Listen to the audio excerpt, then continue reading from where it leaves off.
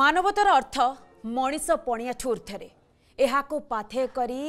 ମଦନପୁରସ୍ଥିତ ଉତ୍କଳ ସଂସ୍କୃତି ବିଶ୍ୱବିଦ୍ୟାଳୟର seminar hall ପରିସରରେ ଆୟୋଜିତ ହେଉଛି କର୍ମଶାଳା ଉକ୍ତ କର୍ମଶାଳାରେ ବିଦେଶର ଦଶ କଳାକାର ଏବଂ ଆମ ଦେଶର ବାଇଶ କଳାକାର ସାମିଲ ହୋଇଛନ୍ତି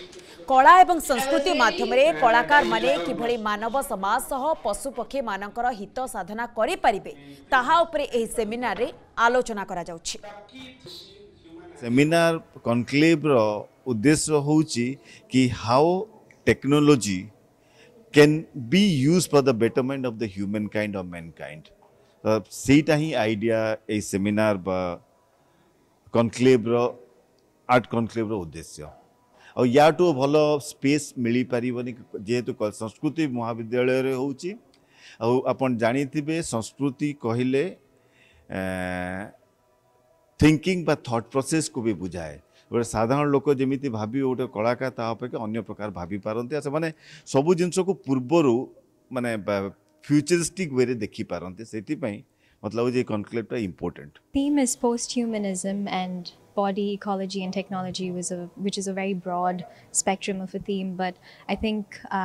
myself and the other artists who are gathered here today are quite curious in exploring the aspect of post humanism in today's world, in today's society, and what that would mean for humanity and society going forward from now. So I think um, we're all very excited to be here and just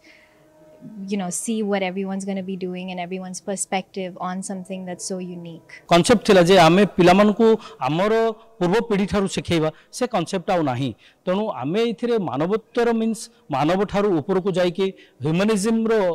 ପାଇଁ ଆମେ କ'ଣ କାମ କରିପାରିବା ଯେଉଁଥିରେ କି ମାନବୀୟତା ବେଶୀ ଆସିବ ଏବଂ ଏଇଭଳି ଏକ